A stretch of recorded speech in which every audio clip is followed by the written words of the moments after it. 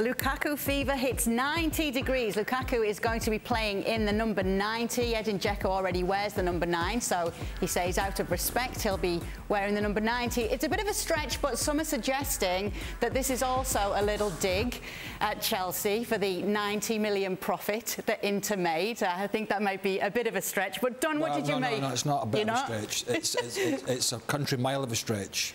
It's, it's a marathon of a stretch. it's a global stretch. This, got, this has got to stop, right? He's, he's just, he hasn't got the number nine shirt.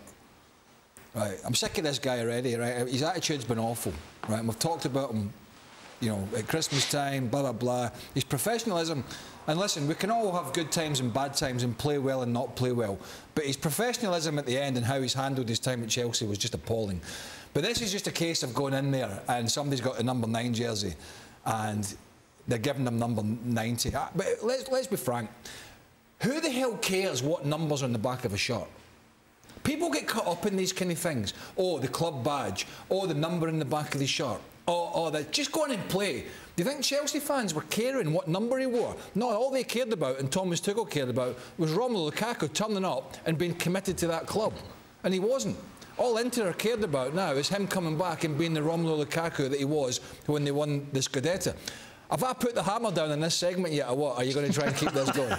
no, it's Because if we're going to try and keep this going, I'll stop now. Well, we but it's not a 90 plus 7 because of the money. Right? It's not.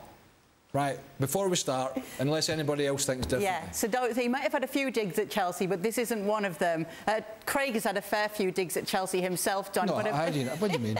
well, have a dig at everybody. over the last season, particularly. well, they deserved it. well, whether they did or they didn't. Hold on, let me check. Have, let right? me check. Let me check. See if I've got a wage slip in here from last. No, I don't. I don't get paid from them now. So what the so hell? You're not going to be nice about them. No, why should I? Uh, Don, we have got you on though since this move's been made official. What do you make of it?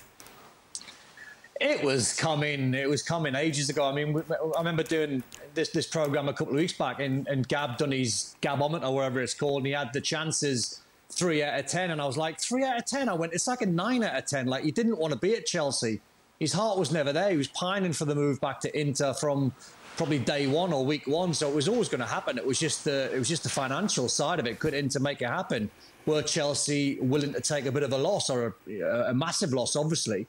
Um, but Craig's right on the numbers. I mean, fans get caught up with the numbers. I mean, I, heard some Arsenal fans having a go at Eddie Nketiah because he's took Thierry Henry's number 14 shirt, I believe. And I'm like, who cares about the, the numbers on the back of a shirt? It doesn't represent the past player that you've took and anything.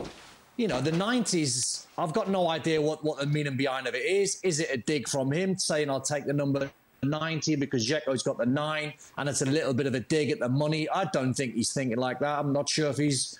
I'm not sure if that's anywhere near the forefront of his mind. I think he's happy to be back. I think Inter are happy for him to be back.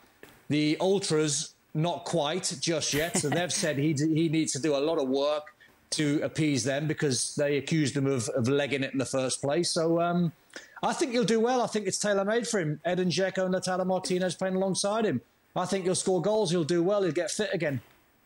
Uh, Jules, can you wade in on this uh, number debate? Do you care about the number on a footballer's shirt?